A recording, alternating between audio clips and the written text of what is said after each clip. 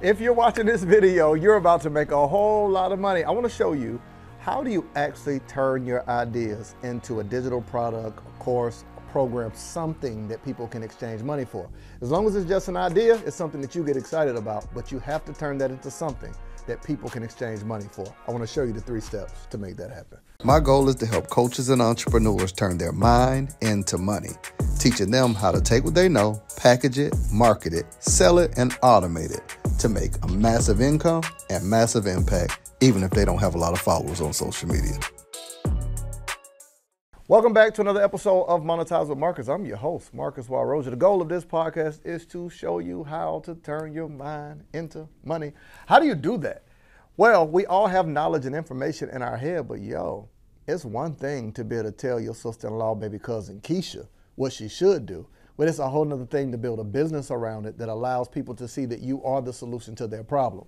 People don't have a hard time paying for a problem that they have or a question that they have, and it's your job to present that. But you need strategy, and that's what this show is for to show you how to do it.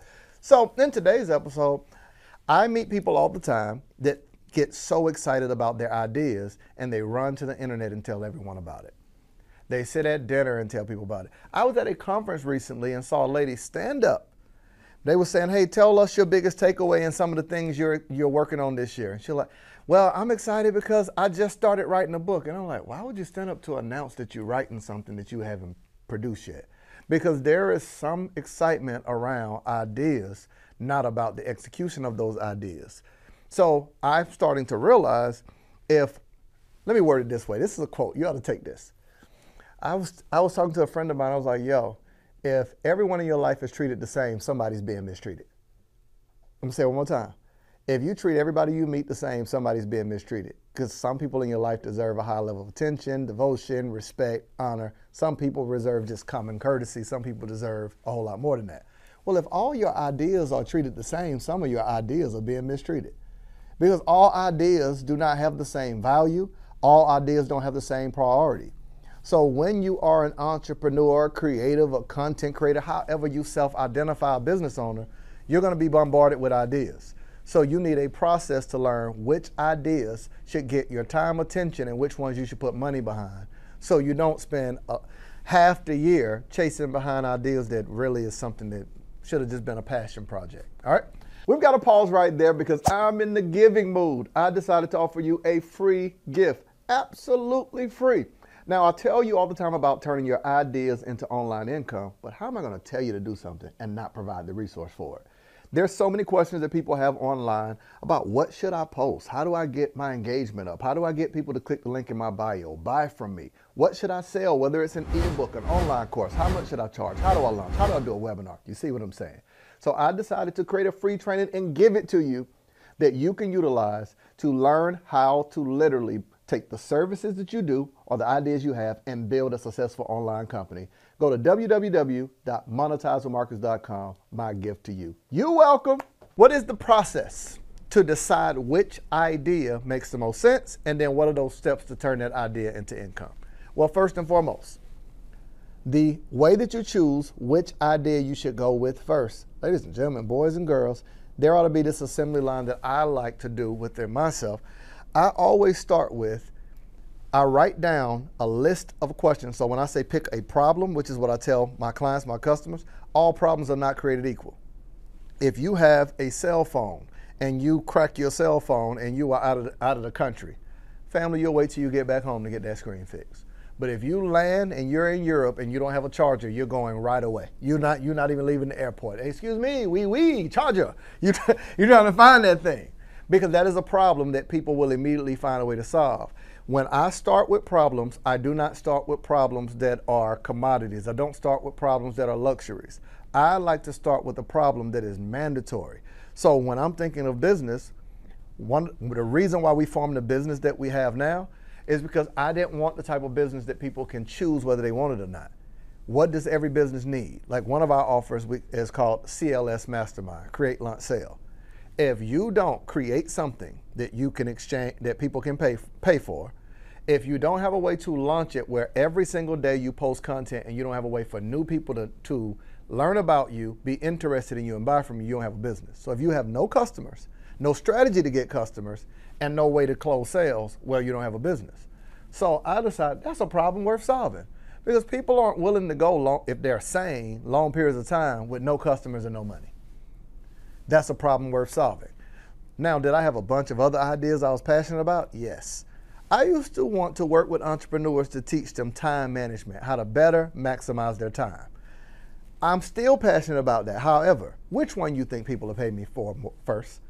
How to figure out how to maximize their time as an entrepreneur or how to create offers people will buy, launch those offers, and close more sales. See what I'm saying? Both are ideas that are in my head, but one idea is a problem that people are willing to pay for. So that's how I decide the problem. The bigger the problem, the bigger the paycheck. So you want to choose and say, it's not, it's not a negative to make it about money when it comes to business. Here's why. The best thing, come, here. Come here, you need to hear this. Pay attention. The best thing you can do for your clients is make more money. Why? Because if you make more money, you can invest in learning more so you can help more people. You can invest in a staff. So now when they're DMing you, a person now manages those DM, they don't have to wait. you can invest in infrastructure. You can invest in marketing so you can find more people to solve more problems. You can rest more. Here's the bigger part why I tell my clients you need to make a lot of money. You can work with less people. The less money you make, the moment someone pays you, you got to go find somebody else to pay you. And you don't you can't say I only work with 10 people because you need more than 10 people to make more money. Makes sense. When you make more money, you can work with less people, make larger impact. So this is why I say the bigger the problem, the bigger the paycheck. Choose a problem that is valued, that people will pay you more, and choose a problem that is a big problem that people have to solve right away. Now that's how you decide in business. Now, now that you decided on that problem, what are those three steps to turn that into something that you can sell? The packaging of an idea is a lost art. It's a lost art. Like the packaging of an idea is a lost art. Don't miss this, family. Y'all know this is like masterclass style. Selling a product. Let's use. What do we use in here that I, that I can grab? So, so I'll just say this really quick. Selling a product is totally different than creating and presenting an offer. So if I'm selling you this iPhone, I'm selling you a product. But if I say, hey, um, I decide I've got two phones and I'm about to upgrade both of them because I realized that as an entrepreneur, I need number one, I need the write off. Number two, it's time for me to upgrade. It's never been cracked, hardly ever used. Like I don't use the data or any of that. But here's here's what I want to do. I want to give you both phones. I want to give you my cases, my chargers. On top of that, inside of these inside of both phones, in my notes section, I got an entire drive and audio books that I'll just leave on there for you. That's an offer, not a product. I just I just literally packaged this in a way. The packaging of this now changed it out of the context of it just being a cell phone. Make sense? So when you are going from idea to income, the first thing you got to think of is right. Number one, how do I package the product I'm going to sell? don't like how do you package this thing in a way that the person does not just see it as just something else on the internet but they see it in a way that it separates itself from everything else when you're choosing apples to apples oranges to oranges why do y'all think billion dollar companies add on the on a bottle of lotion now 30% more that's an offer it ain't the lotion it's the language and the marketing and it's the offer why do you think that someone says 100% money back guarantee that's the offer you should quit working for free. How did social media hire all of us to be their workforce? We're on the app posting videos, going live, creating reels. We do not get paid when we create content on social media. They do by selling our content to advertisers. But how do you actually build an online business using social media? I want to break it down for you and give you access to it. There's five simple steps. I'll tell it to you in a few seconds. Step number one is client attraction. I'm going to show you how to actually attract clients that will happily pay you what you're offering. Step number two, how to capture them. How do you get their emails? How do you get their phone numbers? How do you get them to show up to your event? Be on your Zoom calls to what I refer to as client dating. It's where you nurture a relationship with people to get them to say yes to whatever you're offering. And I'm even going to show you what type of content to create that gives you brand visibility and brand recognition. I call it social media secrets. You get access wherever you're watching this video, you'll see it in the description and you'll see it beneath this. Let's get back to the episode. It's removing risks. All right. So, number one is you're going to package it into an offer, not just a product. Number two, you are going to market it in a way that is a no brainer. How the heck do I market something that is a no brainer? Well, I like to start in my marketing with all the reasons someone would say no, and that determines what I add in the offer. So if someone will say no because they say, "Man, how I know the phone going? How do I know the phone's going to work and that that it might not mess up?" Well, part of the packaging and the marketing is I say, "Hey, if anything goes wrong with it, my phone number will be inside the phone. You call me anytime, return it, no problem. You'll have access to this and this."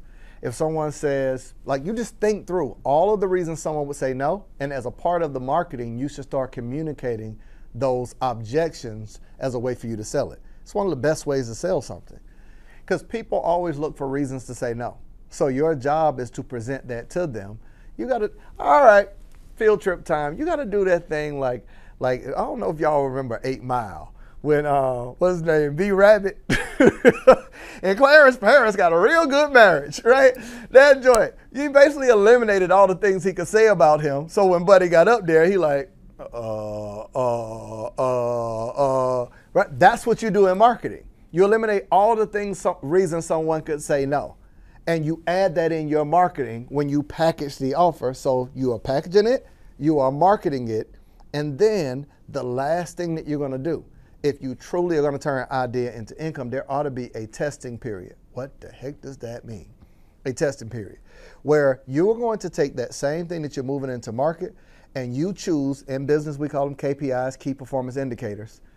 You are choosing when you test this thing and move into market, yo, how many people do I have to talk to to get them to say yes? And with people that say no, what are they saying?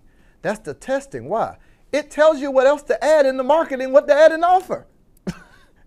so you actually, in the idea to income phase, are getting better at what you do because you took a problem that is worth solving. You packaged it into an offer, not just a product you market it by removing all the reasons people will say no, and then you tested it to tra- track the data of what each person said that purchased it and what each person said that did not purchase it. And ladies and gentlemen, you turn your ideas into income. I hope that you got something out of this episode. Family, make sure that you subscribe so you don't miss every Monday at 12 p.m. and every Friday at 12 p.m. Eastern Standard Time. Make sure that you subscribe. Make sure that you stay tuned in. Comment and let me know if this has been adding value to you. The only thing that we ask if this add value is share it with someone and make sure you stay locked in. Well, if you need me, you know where to find me. I'll be over here minding my online business. I'll see you in the next episode.